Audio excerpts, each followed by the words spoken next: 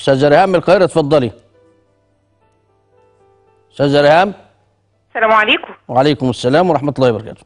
والله يا شيخنا حضرتك كنت فسرت لي رؤية قبل كده بإن كنت أنا حامل وإن أنا هجيب بنت وأسميها مريم. يا رب يبارك يا رب. ربنا رزقنا بمريم الحمد لله. وسميتيها مريم فعلا؟ آه. ربنا يوسع عليكي في الرزق انت وجوزك وتكون ال- البنت دي قرة عين ليكي ولوالدها إن شاء الله. آمين يا رب. تحت أمرك. بقى أنا حلمت بيها حلم غريب شوية. ها؟ إيه إن هي وهي كان عندها حوالي أربع شهور كده إيه إن هي على هيئتها دي ولدت بنت. مم. وكانت جنب نايمة جنبها. فأنا دخلت كده عليها فبكلم والدتي في الحلم بقول لها إزاي دي طفلة رضيعة؟ إزاي تولد؟ خليكي معاه ما تقفليش. معاكي. كملي كملي. إيه إزاي الطفلة رضيعة تولد؟ ده, ده, ده عندها أربع شهور إزاي تولد بنت؟ فقعدت مستعجبة جدا وبقول لماما يا ماما أنت متأكدة إن البنت ديت الصغيرة ديت دي بنت مريم مش بنتي أنا؟ طبعا طبعا. أيوه دي بنت مريم. فقعدت جنبها كده ومستغربة وبقول إيه؟ طب إزاي؟ طب يعني دي معجزة. طب وجاي في بالي ساعتها ستنا مريم. إن ربنا يعني خلاها تولد وكده ومفيش ما, ما, ما في أنا متأكدة إن بنتي ما حدش لمسها. فبقول طب إزاي؟ طب. دي كانت لستنا معجزة لستنا مريم. نعم. وجابت ولد. طب ده زمن المعجزات المعجزات خلص خلاص. إزاي؟ ده يحصل إزاي؟ فوالدتي شالتها وقالت لي سيبيها لله. نعم بالله. أستاذ ارهاب خلصتي؟ آه خلاص. آه انت عارفة ان آه، بنتنا مريم ربنا يخليها لك آه. هتبقى سبب السعادة والخير والرزق ليكي ولأهل بيتك؟ يا رب. بدليل أصل انت عارفة ان الطفل ربنا قال يهبوه آه. والهبة ده يعني عطاء. آه.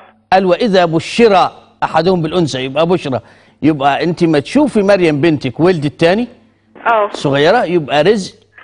ربنا يزود رزقك في بيتك انت وزوجك بسبب آه، بنتك مريم.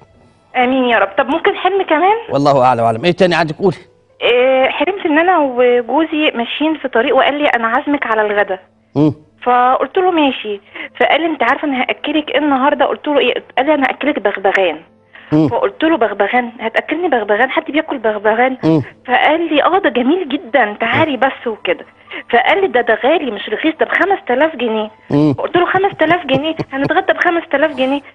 فقلت له لا خليهم يعني يرخصوا شوية. فرحت للراجل اللي هو بتاع الكاشير قلت له ليه هناكل بغبغان ب 5000 جنيه؟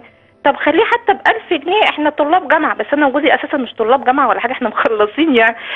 فقال لي لا هو ثمنه 5000 جنيه. فبقول له ليه ده؟ ده إيه ده البغبغان ده؟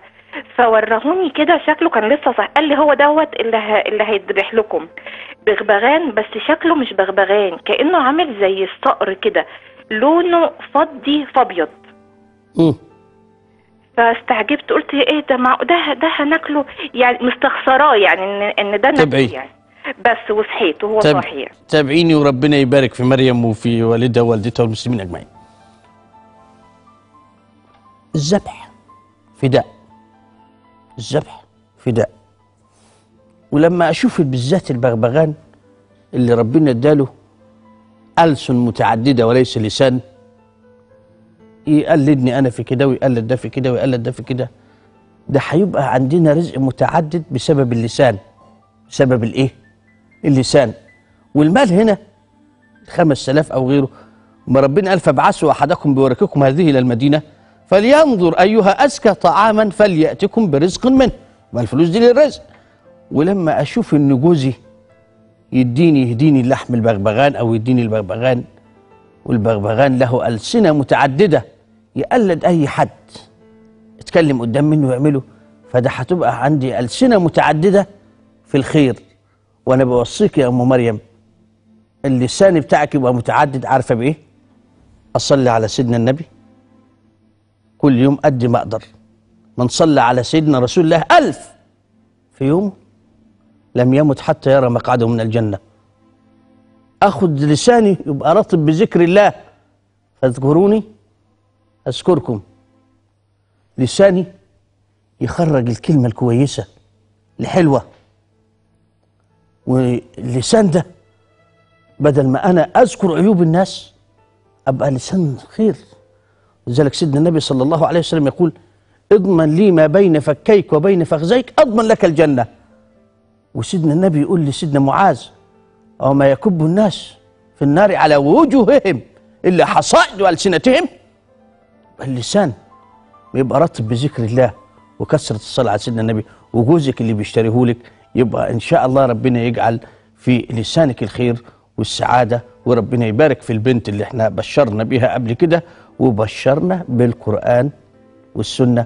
وكون ان أنا أشوف آه، ويبقى اسمها مريم هذا يدل على أرزاق متعددة لأن ستنا مريم كلما دخل عليها زكريا المحراب وجد عندها رزقا.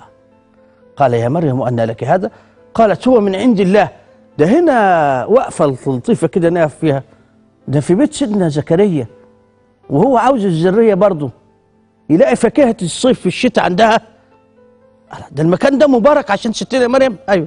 هنالك دعا زكريا ربه. قال ربي هب لي من لدنك ذرية طيبة. شوف إنك سميع الدعاء. يقوم ربنا يقول إيه؟ فنادته الملائكة. وهو قائم يصلي في المحراب. أن الله يبشرك بيحيى. طب لما طلب الذرية الرب هب لي من لدنك ذرية طيبة.